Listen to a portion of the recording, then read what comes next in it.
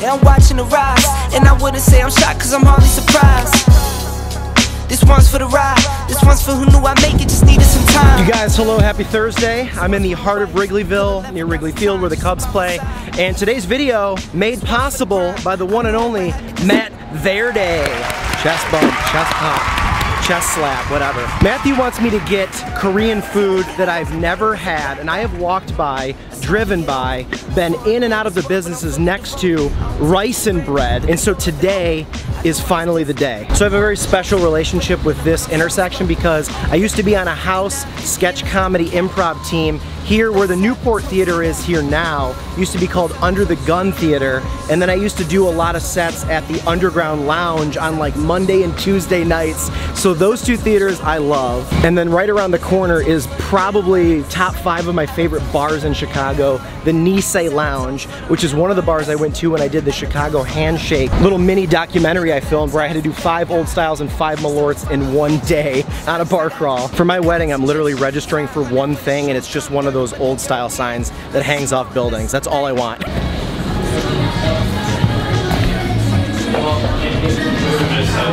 How's it going? Uh, I just did an order online for Sean. Oh, one of those? Oh, perfect. Oh, amazing. Thank you so much. Have a great day. The efficiency in this city with takeout food is ridiculous. I have not had beef bulgogi bibimbap in wait I don't think I've ever had it I think I've only I think I've only had pork oh that's definitely true uh, let's do this whoa that air is blasting hello and welcome to another episode of Sean's first time eating this is my first ever beef bulgogi bibimbap wow beef bulgogi bibimbap beef and bulgogi I have only ever had a pork bibimbap. Today, a takeout bibimbap, normally something I get in restaurant. Thanks to Matthew, Maddie, Maddie V. It was 55 degrees when I woke up. It is 82. Summer Sean has officially been activated. And yes, in every single season of the year, I will be corny. and it will be loud in Chicago. Holy the is this thing? Look at this thing.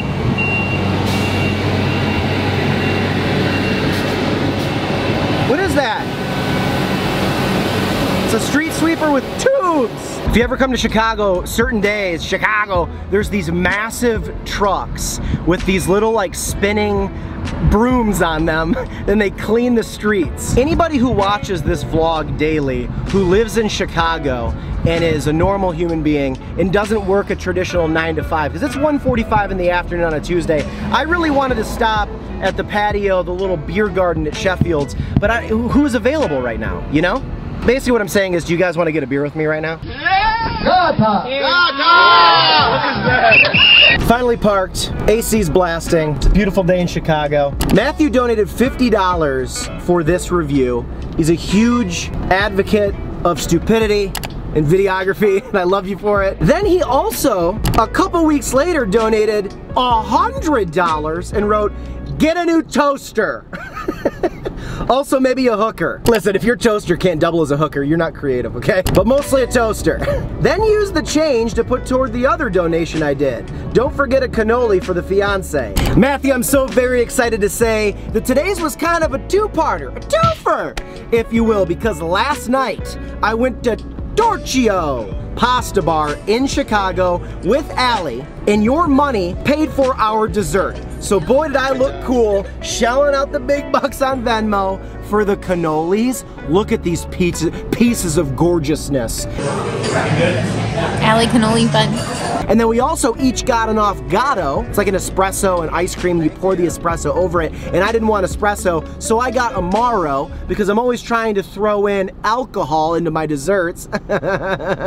I should talk to someone. So the fiance was very excited about that. So desserts, Matthew Verdi, all because of you. And then today, we got a big old bibimbap from Rice and Bread. And this is one of those places I never would have done, ever, ever, ever, if it wasn't for a donation. I've heard it's good. It's got damn near like a four and a half star on Google.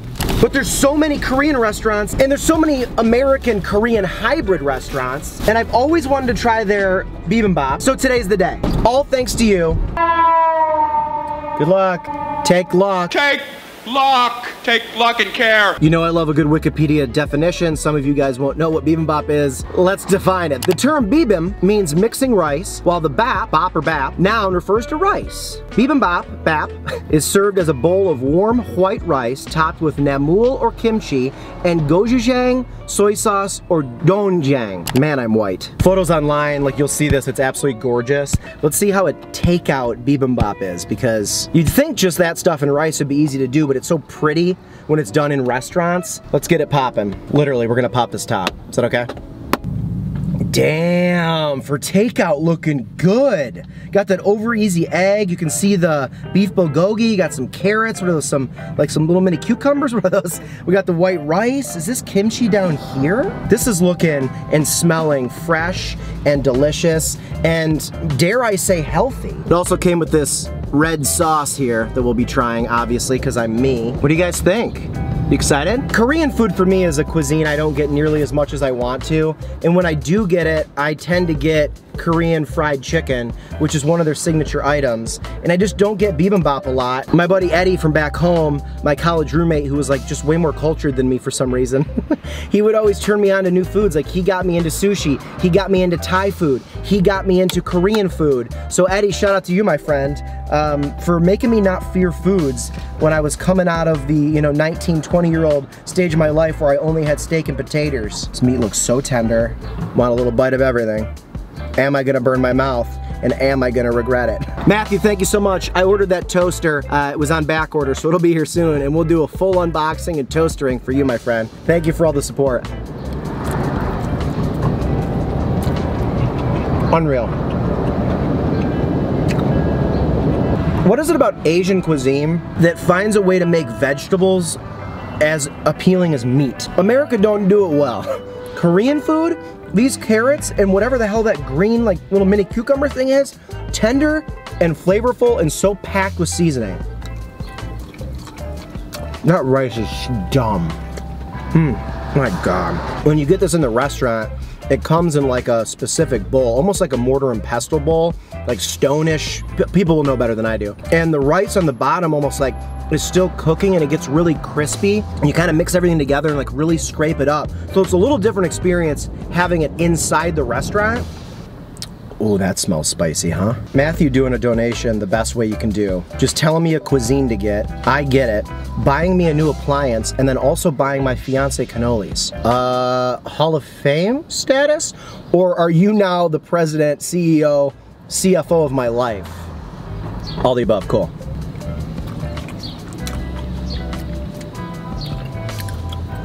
Oh yeah, that's like the sauce that comes with bibimbap. It's spicy but super sweet and sugary too.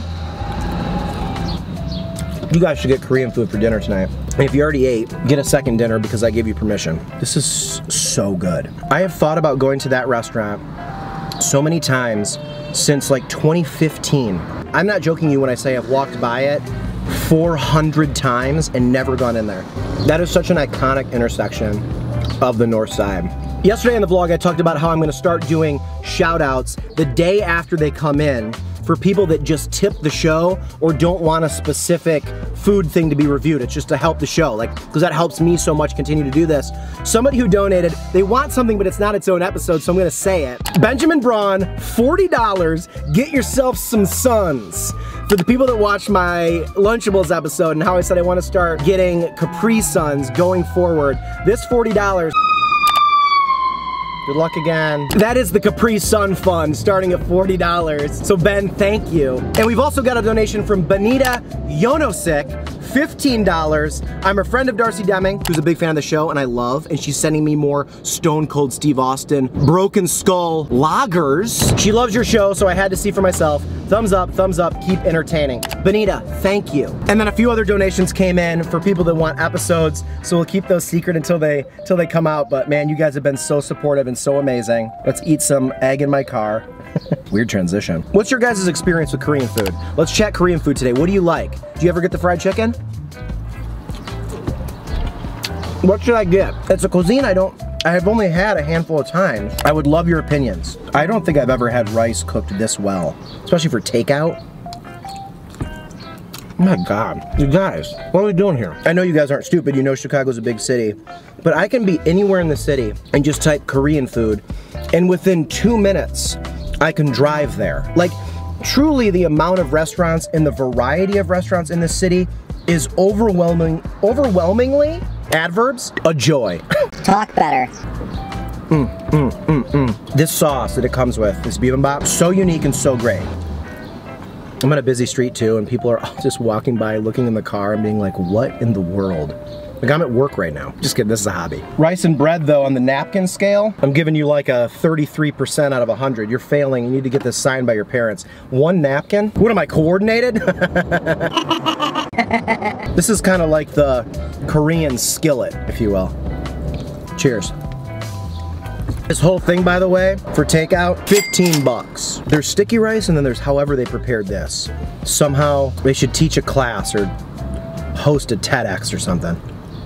and you know and I'm taking the rest of this home. I really can't put into words how incredible that was and will continue to be. The only thing I will say, I wish there was a little more beef in that. Like it was little small pieces, that's fine, but I, I feel like there should be kind of a mound of it, you know? I was gonna chug the whole thing, but ugh, I thought I was gonna throw up. How in the world is it May 19th already? What's going on with this year? I say that every year. This year is flying by, except for the COVID year. I was like, this year is crawling by. Matthew Verdi. Verde. Oh, like Verde, like would be green. Matthew Green. If the I was an E, it doesn't matter. Matthew Verdi. May 19th. Donation notebook. I like this comment a couple days from Gervin HGC Booger by Fabasuag. So. That Michael Vick over there? I got a new name for the donation book. It's Sean's handy dandy donation handbook. I don't know. I am pretty lit right now, so good video. Maybe this gets a chuckle, who knows? I like that people just are lit watching these videos. Been there. Matthew, once again, thank you so much for the food. Thanks for the toaster. Thanks for pleasing my girlfriend orally with cannolis. I'll be honest, I should cut that out of the edit, but I'm not going to.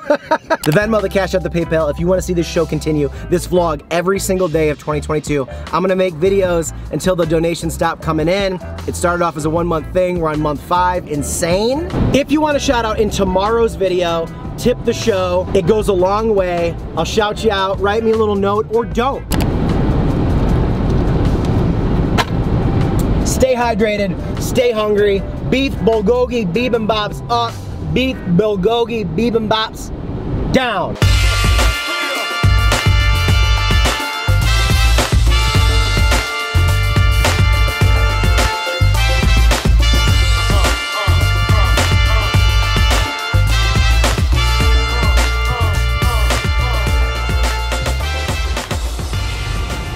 What the fuck is that? I think that was a COVID at home, like drive up testing car. What?